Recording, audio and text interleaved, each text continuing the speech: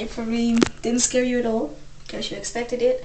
Because I don't think you expected to me to film an empty bathroom. Anyhow, I'm in the bathroom because it was the only place I could make a film where you could actually see me. Because in my bedroom my eyes were just all red. Pretty scary. Halloween, yay! Um, I'm here personally wishing you all a very happy Halloween.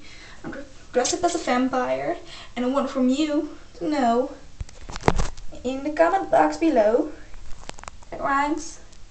Okay.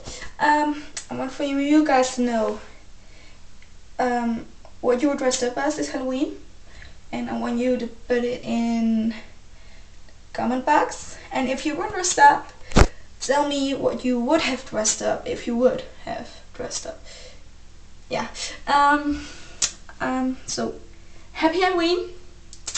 And would say happy Monday, but Mondays are never happy. Unless you're off from school or work or whatever you do.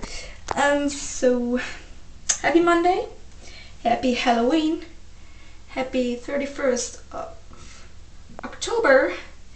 And you can all say goodbye to October right now because tomorrow is November.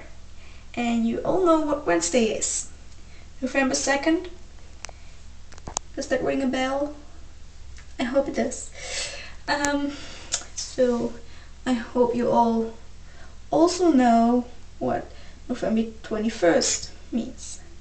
So happy November already. Happy Halloween for the third time, I guess. I'm happy again. Sorry. Um,